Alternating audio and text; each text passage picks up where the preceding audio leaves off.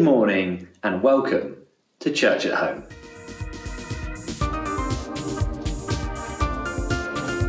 It is so wonderful to have you with us this morning. Later on, Kavan is going to be leading us in our series in Mark, and we're thinking about Jesus remembered. But first, we have put together a little video to give you an idea of what goes on behind the scenes to put together Church at Home. Hi everyone.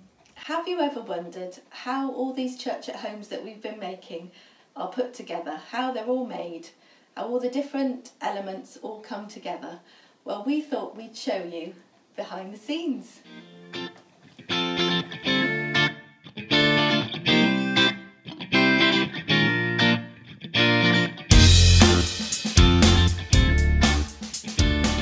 Stage one, planning. There is lots of planning that goes into church at home, from meetings to talk about ideas and content, to the readers and prayers being sent information by Penny. The preachers are prayerfully planning what they will say, and the musicians are prayerfully planning the songs to sing and play.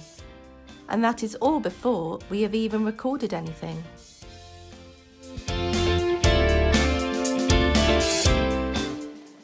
Stage two, recording.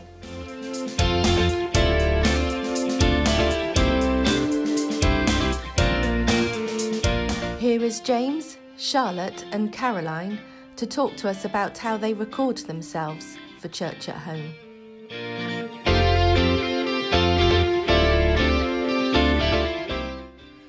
Well, hello and uh, welcome to where I tend to do most of my filming uh, during the week for church at home. We've got it all set up here so we can get it videoed, and of course, you'll notice the lighting. That was one of the first things I discovered about filming because of these. These glasses, they're always reflecting the light. So um, I'd be sitting in my kitchen and then realise the light was flooding in through the window and it would all be reflecting off my glasses and it's not very easy to move a window. Um, so you close the, the blinds and then discover it's too dark. And so it took a lot of time, but these are brilliant to help me get the lighting right. Um, now, what else? The, the, other bit of fun I've had is with sound. So there are various microphones. Um, here is uh, one, sometimes I use the clip mic, I use other microphones. Sometimes it's a bit echoey, maybe a bit like now. Um, sometimes when I'm using this microphone, it's brilliant. And I record a section and then I watch it back and I find there was a loose connection somewhere in one of the wires, crackling away, and I have to do the whole section again. I've been back here some evenings to, to re-record sections. You know, it's it's been a huge learning curve. We've had lots of fun, but you know, you do it the service of God, and I'm thankful for what we have been able to do. I'm here to talk you through what is behind the scenes when we lead.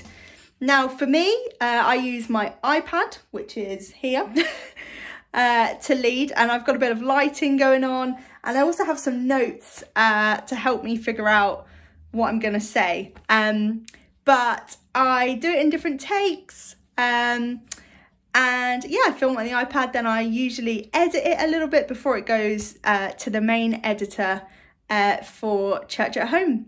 So this would be, I find a nice spot with a nice well lit uh, background and then yeah, set my iPad up.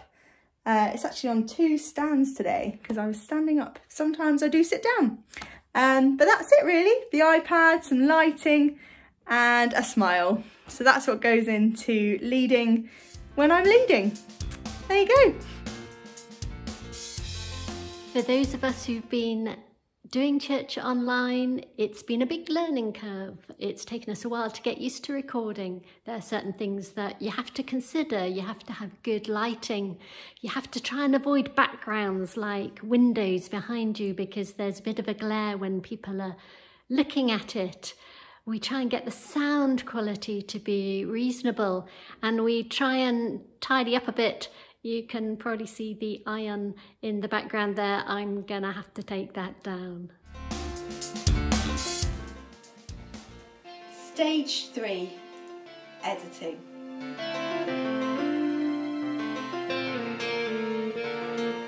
Julia and Jan and Kevin Kim all record and mix their music in different ways, but here is Dave to tell us how he records and mixes the music we do.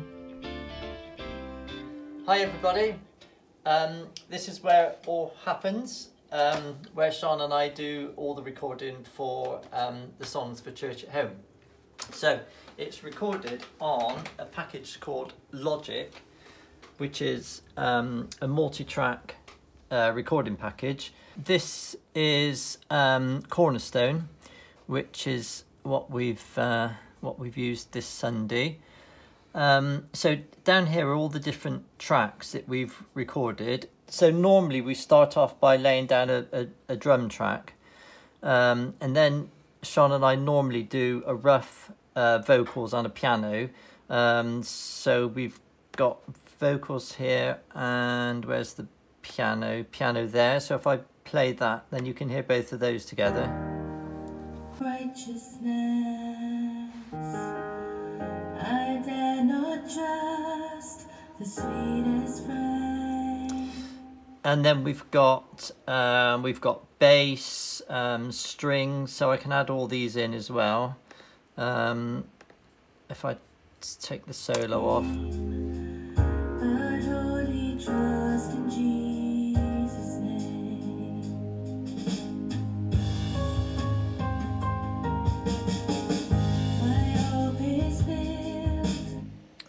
so this is the bass track.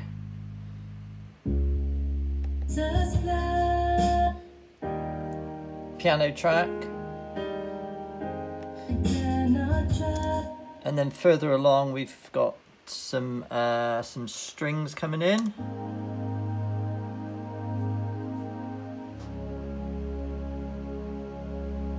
And some guitar.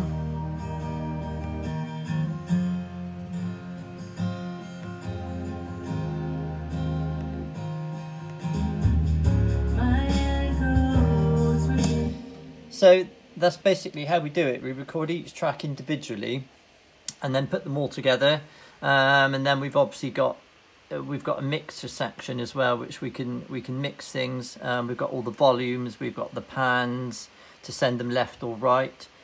Um, we've got all sorts of um, effects. We've got reverb and delay and, and, and all sorts of things on there. Big box of tricks. And then um, and then hopefully at the end of the day we uh, we mix it and and um, it sounds okay. So if I wanted to add another track to this now, then I would just select another track. If I select a software instrument, if I choose an instrument in here, um, and then it comes up with another track here, um, and then you just play it in, you go back to the beginning, um, you press record, and then um, and then play away and then it records what you've just played. So that, that's uh, that's basically how we how we record everything, and then obviously Sean sings through the, the microphone, which again goes into the into the computer. Um, so yeah, that's what we do. Kev is now going to run through editing songs.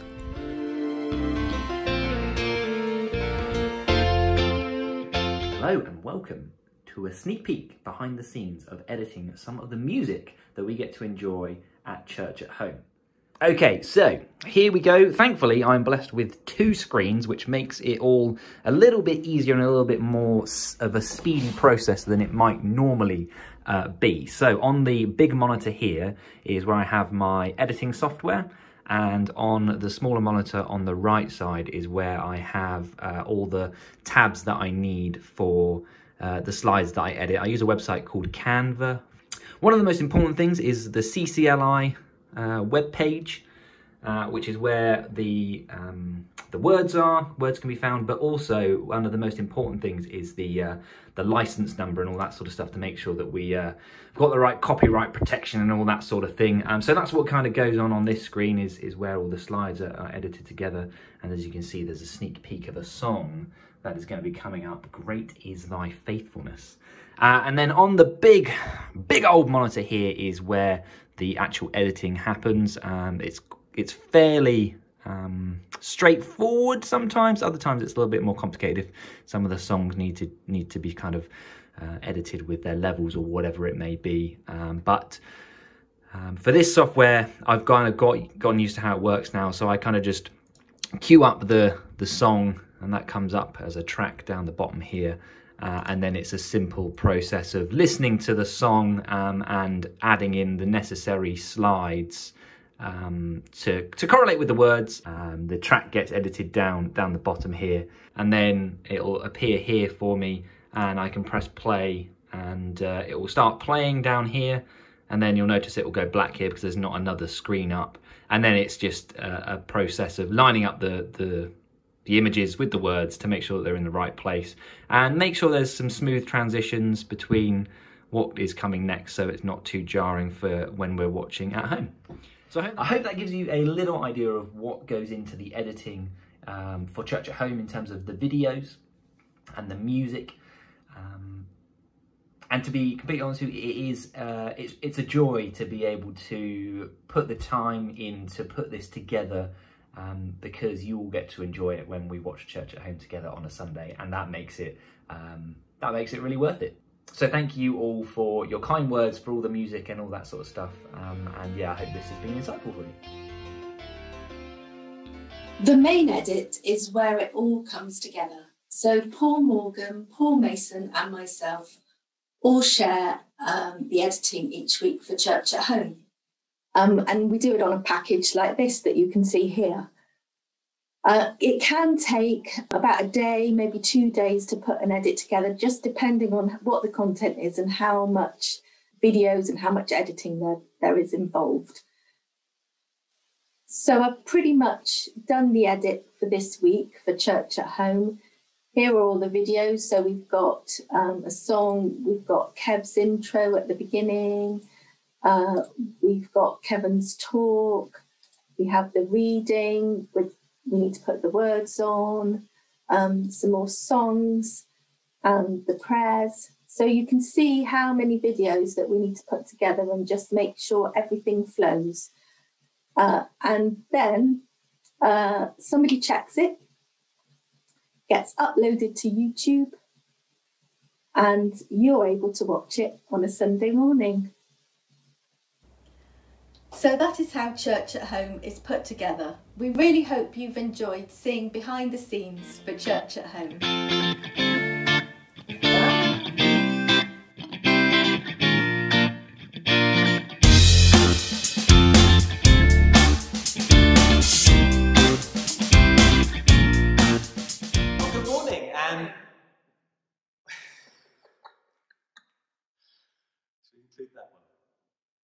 Going to say good morning or not?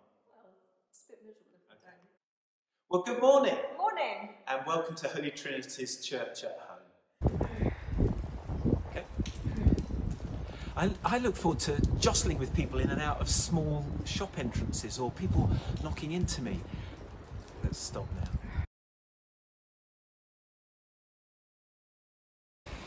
So, how's it going, Carol, the filming? It's fine.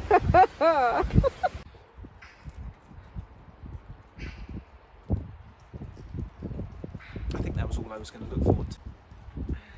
Yeah? I look forward to crowds.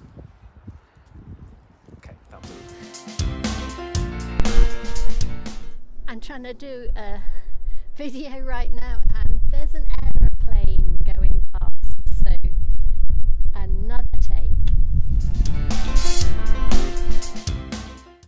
many takes is it gonna take me? I haven't even got through my whole script yet. Right. It's gone downhill. I had it I had it for a mere second. Now it has gone gone, gone, gone. My brain is not working anymore. Hi everyone, we hope you're keeping well and safe. Um, everyone. This morning we're going to sing Christ Be Our Light. And although we can't be in our church building together, I see I've already done it wrong. Hi, everyone. Hi Hi, church family. It's great to be worshipping uh, with you. Do, well, let's just do it again. Okay. Hi, everyone. church- Oh, sorry.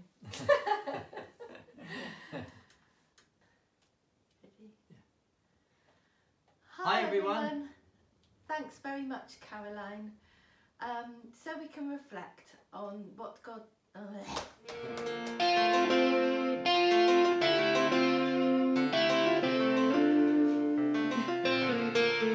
Why does it take me so long? Why?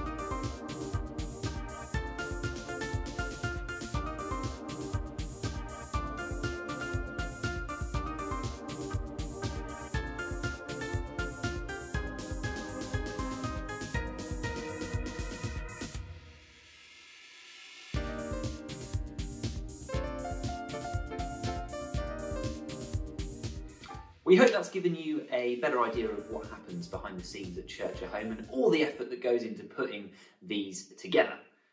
Now it's time for us to worship the Lord as we sing, Great is Thy Faithfulness.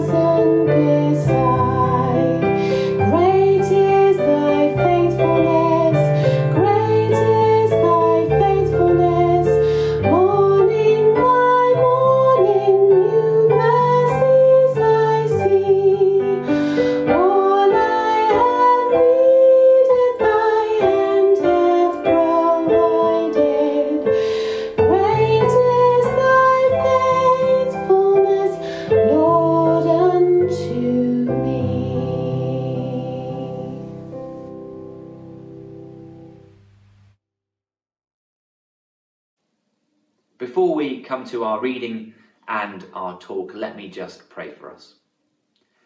Father God, thank you that great is your faithfulness. Thank you that you give us strength to face the day. Thank you that you give us hope for tomorrow.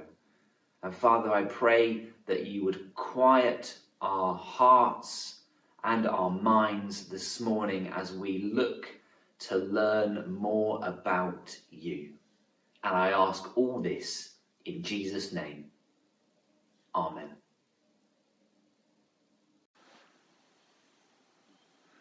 This morning's reading is Mark chapter 14, verses 12 to 26. The Last Supper. On the first day of the festival of unleavened bread, when it was customary to sacrifice the Passover lamb, Jesus' disciples asked him, Where do you want us to go and make preparations for you to eat the Passover? So he sent two of his disciples, telling them, Go into the city, and a man carrying a jar of water will meet you. Follow him. Say to the owner of the house he enters, The teacher asks, Where is my guest room, where I may eat the Passover with my disciples? He will show you a large room upstairs, furnished and ready. Make preparations for us there. Disciples left, went into the city, and found things just as Jesus had told them. So they prepared the Passover. When evening came, Jesus arrived with the twelve. While they were reclining at the table eating, he said, Truly, I tell you, one of you will betray me, one who is eating with me. They were saddened, and one by one they said to him, Surely you don't mean me? It is one of the twelve, he replied, one who dips bread into the bowl with me. The Son of Man will go just as it is written about him. But woe to that man who betrays the Son of Man. It would be better for him if he had not been born. While they were eating, Jesus took bread and when he had given thanks, he broke it, and he gave it to his disciples, saying, Take it, this is my body. Then he took a cup, and when he had given thanks, he gave it to them, and they all drank from it. This is my blood of the covenant, which is poured out for many, he said to them. Truly, I tell you, I will not drink again from the fruit of the vine until that day when I drink it new in the kingdom of God. When they had sung a hymn, they went out to the Mount of Olives. This is the word of the Lord. Thanks be to God. Hello. Quite a few people have said that lockdown three is a bit like an extended Lent. We've been in a time of lamentation for a year now. Hard times. Time to reflect and rethink our priorities. Time to discover the importance of friendships, of family. Partly because we are deprived of so much contact with them. Partly because we've chosen to make the effort to make contact in new ways with the special ones. We now know who is special and what really matters. That's good preparation for lifelong living. As we follow Jesus on the road to his ultimate destiny, we see him increasingly focused on what's really important to him too. He knows his time left here on earth is so short. So he's preparing his disciples for what is to come. He shares his heart so that they may gain some insight into the implications of their journey to Jerusalem. He's already given them some clues and a fairly clear indication that Jerusalem will be the place where he will come into direct conflict with the Jewish leaders. They should have caught on that he knew he would be going to his death, but they still had so much to learn. As Jesus prepares for his final conflict, he chooses to spend time with his special twelve and their few immediate supporters, doing the traditional things but giving them new meaning as they share together the week of the festival. Let's look in detail at what today's reading uh, says. So, verse 13 He sent two of his disciples, telling them, Go into the city, and a man carrying a jar of water will meet you. Follow him. Say to the owner of the house he enters, The teacher asks, Where is my guest room where I may eat the Passover with my disciples? He'll show you a large room upstairs, furnished and ready. So, Jesus refers to himself as rabbi or teacher, and he specifically refers to the twelve as his disciples. Well, there'd been many rabbis in Jerusalem preparing for the feast. Passover was an important festival with all the traditions handed down from Moses and revived since the return from around the exile in 450 BC or thereabouts. These festivals and the temple rituals became central to the life of God's people, marking them out as distinct and separate from their Roman occupiers, and different from all the Gentiles who thronged that cosmopolitan city, the centre of trade for that area. It would be no surprise that a rabbi needed a room to celebrate the Passover with his disciples. This surely wasn't the only such gathering. As we reflect on this under the restrictive rules of lockdown, we realise that Jesus couldn't have shared that Last Supper with his disciples under the rules that we're living under. Meeting to talk, to learn together, to share food and fellowship is vital to living and growing as humans made in the image of God. We are social beings. As God is Father, Son, and Holy Spirit, a companionship of mutual support and understanding, one God in three persons, we too are made for socializing. I'm so thankful for the small groups that I belong to. Think of what lockdown would have been like without Zoom, without WhatsApp, without YouTube, and all the social media that the church has discovered as essential for our thriving as God's people in these times. We still can't meet in the flesh, nor can we eat together, not even when we gather in groups indoors like Jesus and his disciples would do at Passover. Every Thursday in Lent, I'm meeting by Zoom with our home group.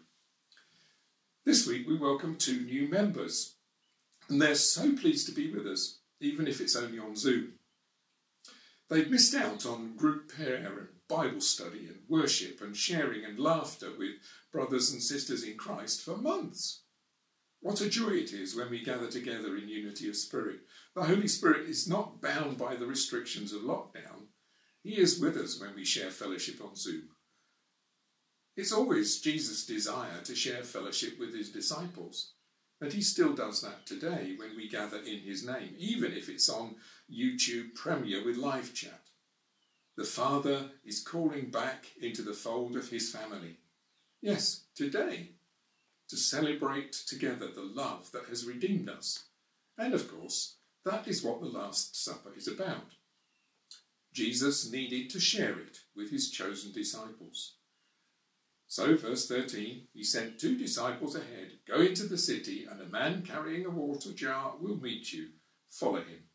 Say to the owner of the house, The teacher asks, Where's my guest room, where I eat the Passover with my disciples? He'll show you a large room upstairs, furnished and ready. Make preparations for us there.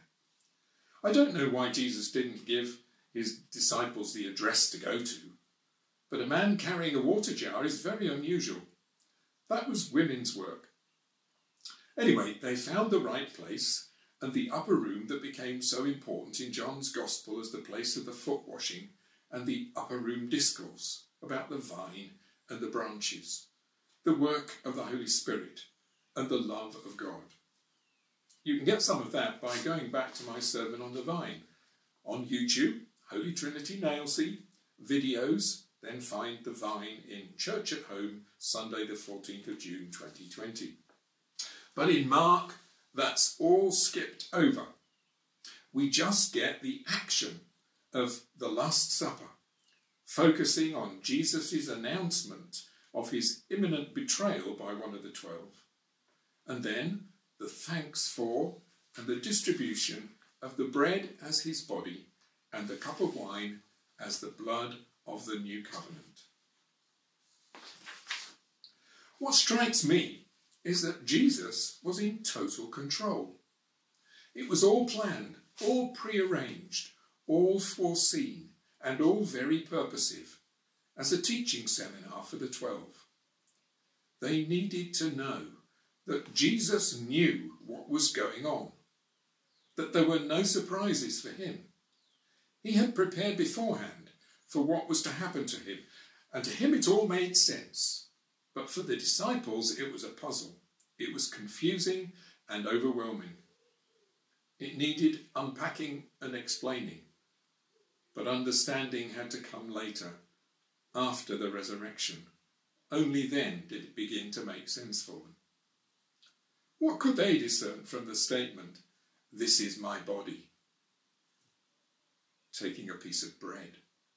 Or, This is my blood? Holding up the glass of wine. And what is the new covenant? They knew about the covenant that God had made with Israel. They were God's people and He was their God. He had given them the law and the sacrificial system so that they could keep everything in balance between God and His people by obedient faith. But a new covenant and a new kingdom, what did He mean? He was giving them confidence to know that even if they didn't understand, He did. He knew what was going to happen. He would have to be rejected, condemned by a Jewish court, sentenced to death by a Roman governor, be scourged and crucified, die as a criminal on a cross, and be buried in a rich man's tomb. This ordeal was his way to the new kingdom. His journey through death to resurrection was the ultimate redeeming work of God to right the wrongs of every generation through the blood of the Lamb as the King of Israel. The Lion of Judah was slain only to rise again as the glorious Saviour of the world. But as yet they didn't know it. Only Jesus knew. That's always the case. We don't understand what's going on in the world why there is such a COVID awful mess, and why the rulers of the nations do what they do. Why are we closed for public worship? What's going on? Only God the Father knows the end from the beginning. Only Jesus understands that through the trials and temptations comes the final victory. All we have to do, like those first disciples, is trust Him that He knows what's happening and He will redeem us from it. He's in the lead. Just trust Him and then be amazed. The way to the cross is the only way to the victory of Easter. And when Jesus had finished sharing the Last Supper with his disciples, they sang a hymn and went out to the Mount of Olives. That's the end of our reading for today. What was that hymn? The hymn they sang was probably Psalm 136. Let's just hear a bit of that now. So, Psalm 136, it's about redemption, it's about the Passover, and uh, it begins with uh, reminding us of what God has done, how good He is, and that his love endures forever. So between each half verse, we say, His love endures forever. Do join in. Give thanks to the Lord, for he is good. His, love, endures forever. Give thanks to the God of gods. His, love, endures forever. Give thanks to the Lord of lords. His, love endures forever. To him who alone does great wonders. His love endures forever who by his understanding made the heavens. His love endures forever. Who spread out the earth upon the waters.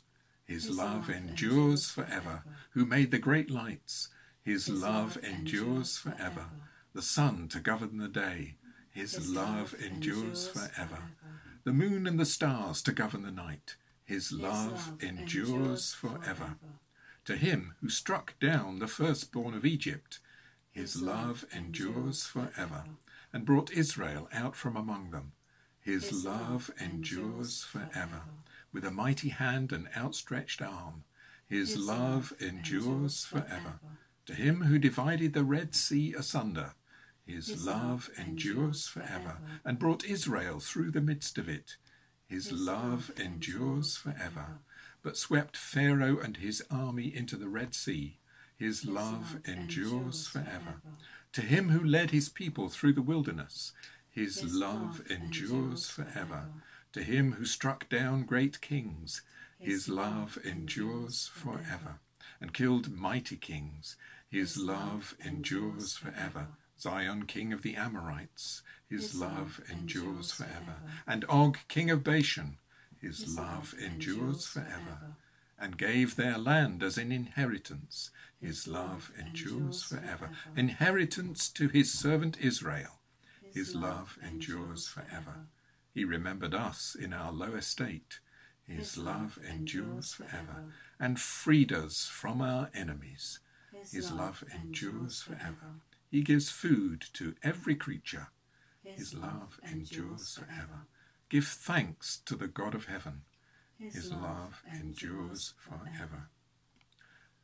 And so Jesus went out with his disciples to the Mount of Olives, with that refrain ringing in his ears His love endures forever. On his way to defeat Satan on the cross and to win the final victory for us.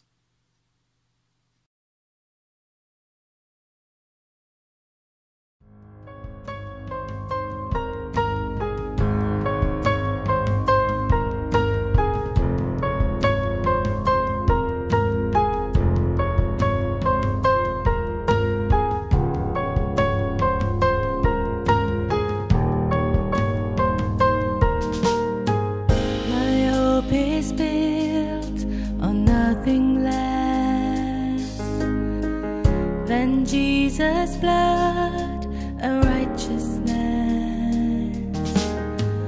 I dare not trust the sweetest frame, but wholly trust in Jesus'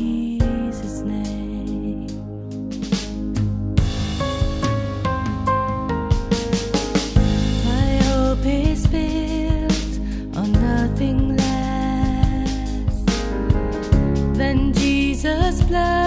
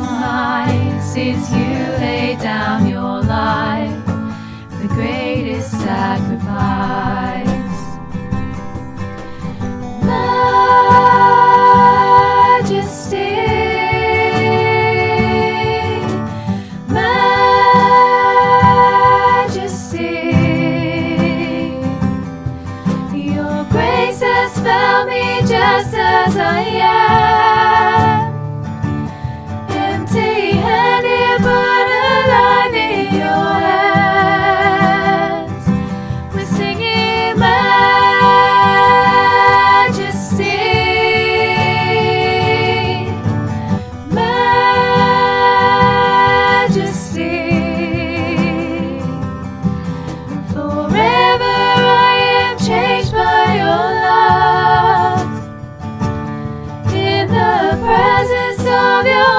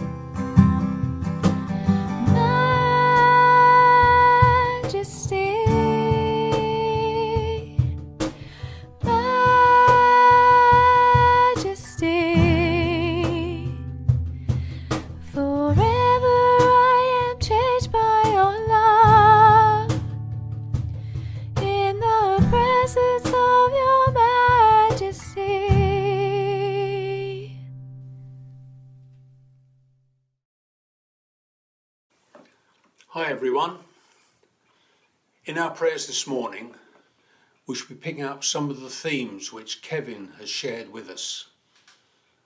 So our prayers today will be in very short sentences. We shall say them and then we will repeat them, inviting you at home to join us in speaking them out. So let us pray together.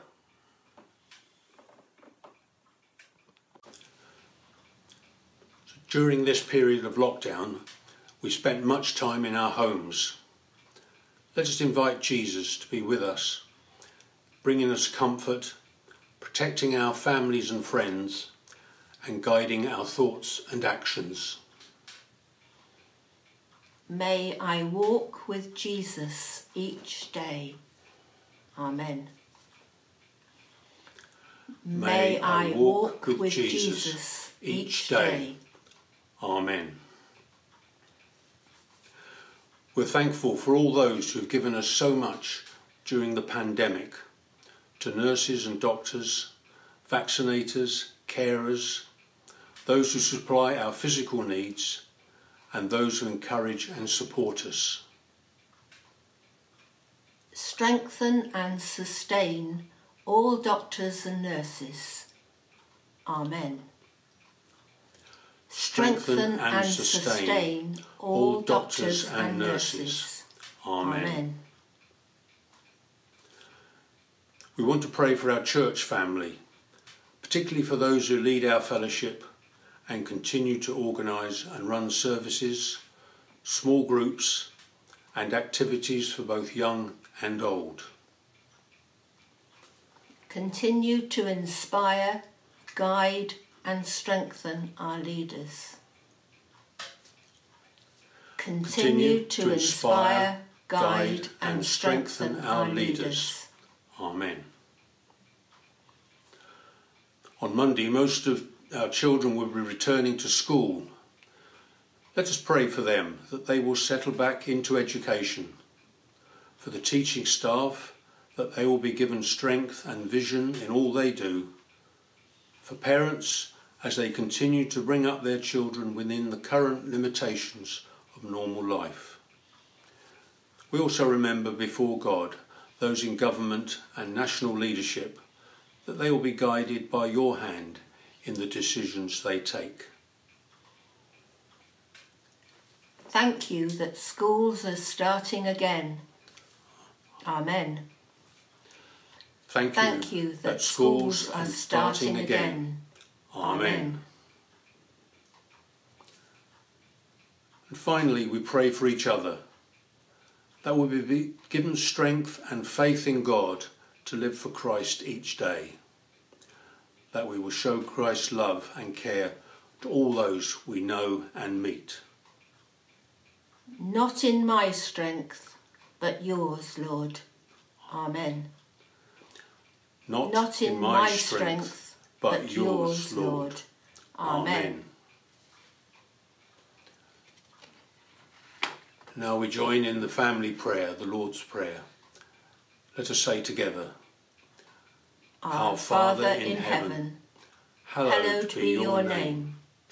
Your kingdom come, your will be done, on earth as in heaven.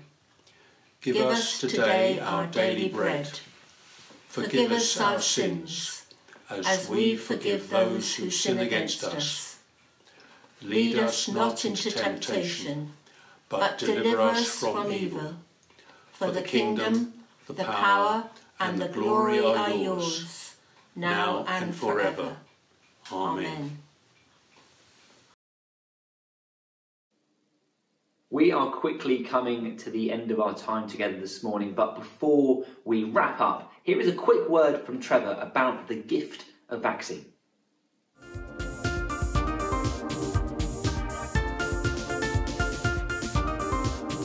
Hello again, everyone. I just want to say a really big thank you to your generosity in supporting the Gift of Vaccine campaign.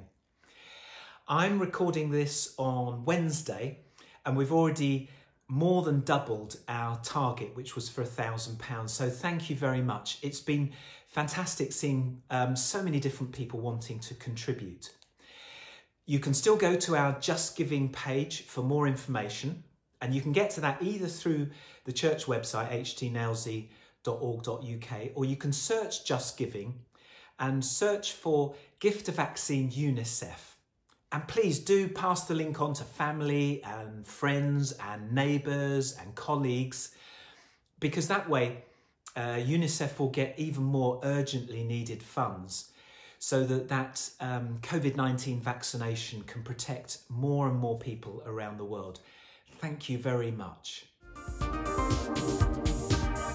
It truly is incredible to see how much we have already raised for the Gift of Vaccine scheme, uh, and I'm excited to see how much more we're able to do as a church family.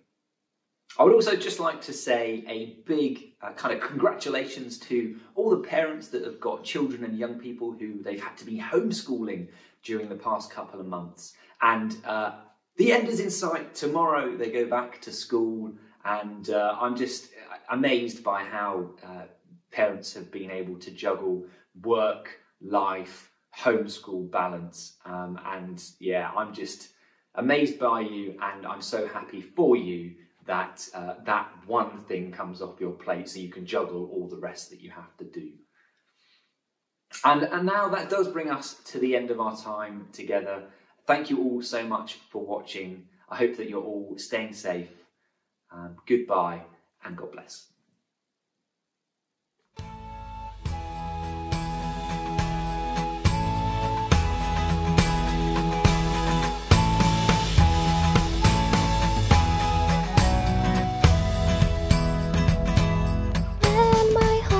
Strength is gone, you're the one who calls me on.